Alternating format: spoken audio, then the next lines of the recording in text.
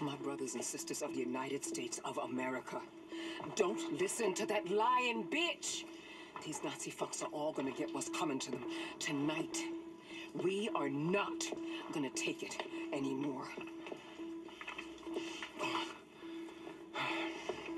Do it. Americans. Americans. Wherever you are. I wish I had words of comfort to give you, like the warm winds that this Nazi general sent down from above. But for me, you will not get comfort. Only the cold, agonizing truth.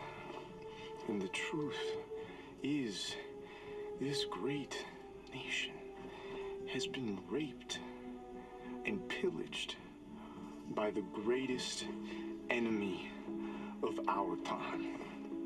They ask you to sell your liberty, to purchase your safety, to kneel to the new order, to submit to the winds of change. But my fellow Americans, they that sow the wind shall reap the whirlwind. You were born in the land of the free. You fought the kings of old and broke them. You gave your lives for the simplest but most essential truth of all. Give me liberty or give me death. On, Wyatt. In your veins runs the blood of revolutionaries. So tonight, brandish your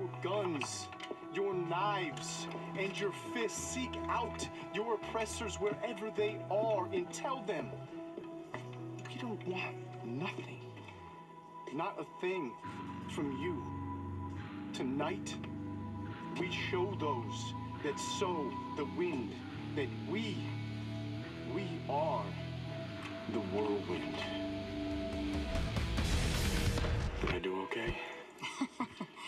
Fucking A, Wyatt, you were great. I was nervous. Could you tell? Shit, yeah.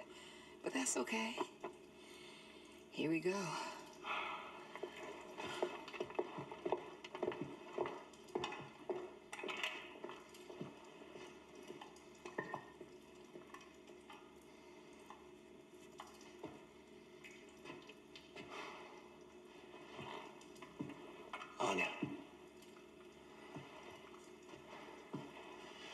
You make me strong and weak at the same time. Will you marry me?